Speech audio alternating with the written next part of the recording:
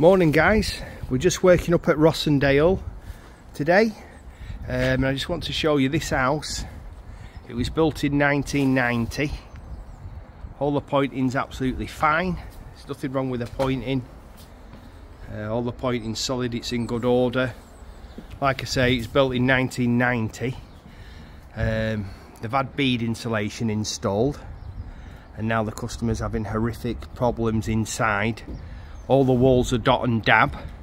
So the the high moisture is coming through the dabs and then you're seeing round circles on the plasterboard internally. Um, so the pointing's brilliant. The only problem is the bricks are quite porous. Um, it's the EPS bead. And I'll just show you. You can see my hand is dry. That's the bead. I put my hand in and it goes all the way. And it is absolutely soaking wet.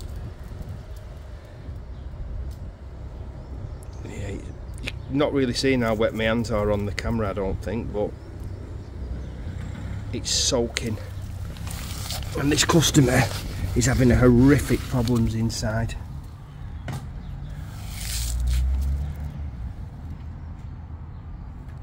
nobody knew what it was. They've had a build around the roofer. Um, obviously we've come round come round previously to do a survey and straight away we knew for a fact it was the insulation. You can just see how wet my hands are now. It's absolutely saturated. It's gone all the way through the bead.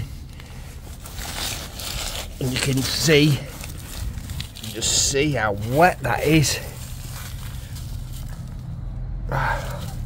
and it's gone all the way through.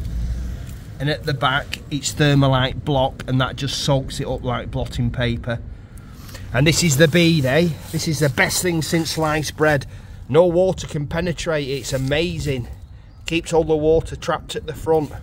It's absolute garbage. Should be taken off the market with all the rest of the stuff other than the kingspan board